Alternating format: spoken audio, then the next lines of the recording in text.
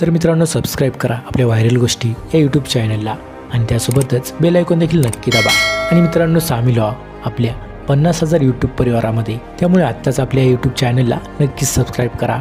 आणि आपल्या पन्नास हजार परिवारामध्ये नक्कीच सामील व्हा तर मित्रांनो पंजाब किंग्सने बुधवारी आय पी एल दोन हजार बावीसच्या तेराव्या सामन्यात मुंबई इंडियन्स संघाचा बारा धावांनी पराभव केला.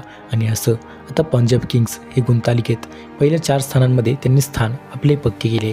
जे की मित्रांनो तिसऱ्या क्रमांकावर आता पंजाब किंग्स हा संघ आलेला आहे. तर तिथेच प्लेऑफमधून जवळपास आता मुंबई इंडियन्स संघ हा बाहेर पडण्याच्या अवस्थेत आहे. जे की मित्रांनो ते मुंबई इंडियन्स संघ अगदी शेवटच्या पॉईंट टेबलवर स्थानावर दिसून येत आहे. परंतु मित्रांनो तरीही अधिकृतपणे मुंबई इंडियन्स संघ प्लेऑफमधून बाहेर झाला नाही. आणि मित्रांनो जर मुंबई इंडियन्स संघाने असा पराक्रम केला तर मुंबई इंडियन्स संघ अजूनही प्लेऑफमध्ये प्रवेश करू शकतो. तर मित्रांनो कशाद्वारे मुंबई इंडियन्स प्लेऑफमध्ये जाऊ शकतो? आणि तसेच का मुंबई इंडियन्स संघ हा सारखा पराभवाला सामोरे जात आहे? याबद्दल संपूर्ण माहिती तुम्हाला आजच्या व्हिडिओमध्ये आम्ही सांगणार आहोत. त्यामुळे व्हिडिओला शेवटपर्यंत तुम्ही नक्कीच पहा.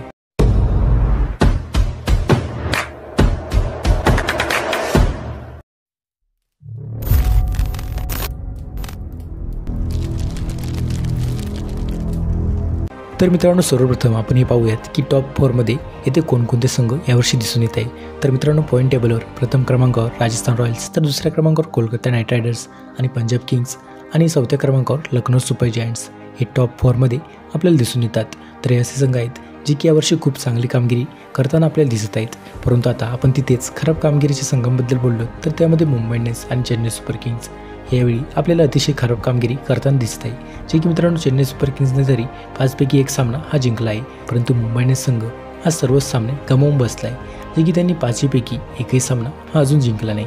जे की मित्रांनो आता पाचहीपैकी पाचही सामने हरल्याने मुंबई इंडियन्स संघ प्लेऑफमधून बाहेर पडेल का? तसेच आता ते प्लेऑफमध्ये स्थान मिळू शकतात का? तर चला तर हे जाणून घेऊयात.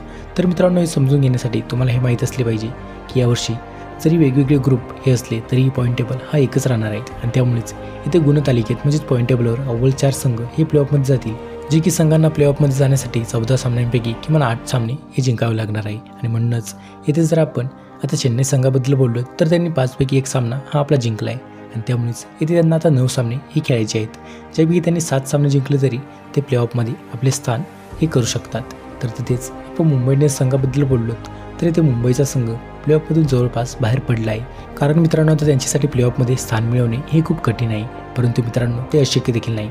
कारण इथे मुंबई इंडियन्स संघ प्लेऑफमध्ये पोहोचू शकतो. तर तो कसा? आता याबद्दल बोललो तर मुंबई इंडियन्स संघ आतापर्यंत पाचहीपैकी पाचही सामने हारलेला आहे आणि त्यामुळेच इथे या संघाला प्लेऑफमध्ये पोहोचण्यासाठी किमान आठ सामने तरी हे जिंकावे लागतील.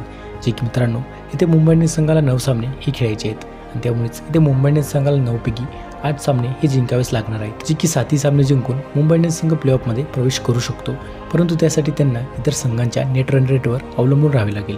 आणि त्यामुळेच मित्रांनो जर मुंबई इंडियन्स संघ हा नऊपैकी आठ सामने जिंकण्याचा पराक्रम केला तर इथे मुंबई इंडियन्स संघ आपल्याला प्लेऑफमध्ये स्थान मिळवताना नक्कीच दिसू शकतो. तर मित्रांनो तुम्हाला काय वाटते की मुंबई इंडियन्स संघ प्लेऑफमध्ये स्थान मिळवेल का? कमेंट करून नक्कीच सांगा. एक महत्त्वाची सूचना. मित्रांनो बरेच जण आपला व्हिडिओ फक्त पाहून व्हिडिओला सोडून जातात. तर मित्रांनो तुमच्याकडे एकच विनंती आहे की जर तुम्हाला खरंच आमचे व्हिडिओ आवडत असतील तर कृपया व्हिडिओला लाईक करून चॅनलला सबस्क्राईब करा. तुमच्या एका सबस्क्राईबने आम्हाला खूप मोठं मोटिवेशन मिळते पुढील व्हिडिओ बनवण्यासाठी. तर मित्रांनो सपोर्ट करा. आपला मराठी चॅनल सबस्क्राईब करून. मित्रांनो व्हिडिओ बनवायला खूप मेहनत लागते. तुम्हाला सबस्क्राईब करायला आणि लाईक करायला काही सेकंदही लागणार नाहीत. आणि केला असेल तर खरंच मनापासून खूप खूप धन्यवाद. त्यामुळे आम्हाला मोठे मोटिवेशन मिळते पुढील व्हिडिओसाठी. तर मित्रांनो आता मुंबई संघ हा सारखा पराभव का पत्करत आहे. यामागील कारणे आपण जाणून घेऊयात. तर मित्रांनो आय पी एलमध्ये मुंबई इंडियन्स संघ पुन्हा एकदा काल त्यांचा पराभव झाला. जी की बुधवारी झालेल्या म्हणजेच काल झालेल्या सामन्यात पंजाब किंग्सने मुंबई इंडियन्स संघाचा बारा धावांनी पराभव केला. या सीझनमधील मुंबईचा हा सलग पाचवा पराभव होता. तर शेवटच्या चार पराभवानंतरून मुंबईने या सामन्यातही काही मोठे बदल केले होते जे की यावेळी कर्णधार रोहित शर्माने पाच गोलंदाजासह इथे उतरला होता जे की यासोबतच त्याने फलंदाजीच्या क्रमातही थोडा बदल केला. मात्र एवढे होऊनही निकालात कोणताही इथे बदल न झाल्याने मुंबईने संघाला पुन्हा देखील पराभवाला सामोरे जावे लागले. तर काय आहे त्यांच्या पराभवामागील तीन मुख्य कारणे जाणून घेऊयात. तर मित्रांनो यामागील पहिले कारण म्हणजे फ्लॉप गोलंदाजी. होय मित्रांनो मागील सामन्यांमध्ये मुंबई संघाला पाचव्या गोलंदाजाची उणीव ही जाणवत होती जे की संघाचे नियमित गोलंदाजही कोणताही प्रभाव हा सोडू शकले नव्हते. आणि अशा स्थितीत मुंबईने यावेळी पाच गोलंदाजांसह जाण्याचा निर्णय घेतलेला. मात्र एकही गोलंदाजाला चांगली कामगिरी यामध्ये करता आली नाही जे की बेसिल तंपी आणि जयदेव नडकट यांनी प्रतिषटक म्हणजेच प्रति ओव्हर अकरा धावांच्या सरासरीने अधिक धावा दिल्या. तर टायमल मिल्स आणि मुरगुन अश्विन यांचाही दुबा उडाला. आणि एकमेव फक्त जसप्रीत बुमराह हाच एक काहीसा चांगला गोलंदाज होता जे की त्याने अठ्ठावीस धावा दिल्या आणि एक विकेट देखील घेतली. तर एकूण पाच गोलंदाजांसह उतरल्यानंतरही मुंबईचा संघ पंजाबला मोठी धावसंख्या करण्यापासून रोखू शकला नाही.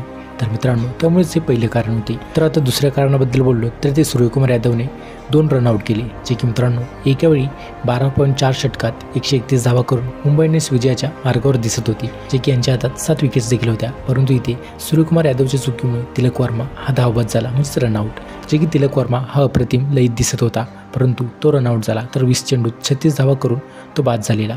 त्यानंतरून कायम पोलाडलाही सूर्यकुमार यादवच्या चुकीमुळे धावबत झाला म्हणजेच रनआउट आणि या दोन रनआउटमुळेच मुंबईने संघाचा रन रेट हा मंदावला आणि बारा धावांनी संघाचा पराभव झाला.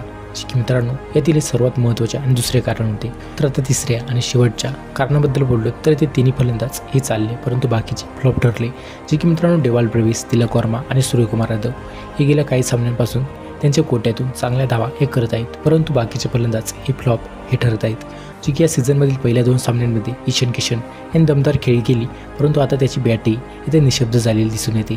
तर तिथेच रोहित शर्मा मोठे पटके खेळत आहे परंतु त्याला देखील मोठी खेळी ही खेळता येत नाही. तर लोअर ऑर्डरमध्ये देखील संघाच्या फलंदाजीत फारशी मदत मिळत नाही. आणि यामुळेच मित्रांनो मुंबई संघ हा सारखाच पराभवाला सामोरे जात आहे. तर मित्रांनो या व्यतिरिक्त रोहित शर्माला यंदाच्या सीझनमध्ये दुहेरी दणका हा मिळालेला आहे. जे की आधीच टीमला लागलेलं पराभवाचं ग्रहणही संपन्न आणि दुसरंच महत्त्वाचं म्हणजे येथे बॅन लागण्याची भीती आता रोहित शर्मावर आलेली आहे जी की मुंबई इंडियन्स संघाने दोन वेळा हा नियम मोडला आहे जे की त्यामुळेच दोन वेळा दंड देखील यांना ठोठवण्यात आला आहे. तर आता तिसऱ्या वेळी असे झाल्यास टीमवर बंदी देखील लागू शकते जे की मित्रांनो स्लोअर रेटच्या नियमानुसार जर एकदा ही चूक झाली तर वॉर्निंग आणि पहिल्यांदा दंड बारा लाख रुपये भरावा लागतो. तर दुसऱ्यांदा नियम मोडल्यानंतर चोवीस लाख रुपये आणि प्लेइंग इलेव्हनमधील खेळाडूंवर देखील दंड आकारला जातो. तर तिसऱ्यांदा मोडला तर दंड आणि बंदी देखील यांच्या संघावर लागू शकते. तर मित्रांनो तुम्हाला याबाबत काय वाटते? कमेंट करून नक्कीच सांगा. तसेच मित्रांनो मुंबई इंडियन्स संघ प्लेऑफमध्ये स्थान मिळवेल का? तुमचे मत काय आहे? ते देखील कमेंट करून नक्कीच सांगा. तसेच व्हिडिओ आवडला असेल तर व्हिडिओ लाईक करा आणि आपल्या चॅनेलला नक्कीच सबस्क्राईब करा.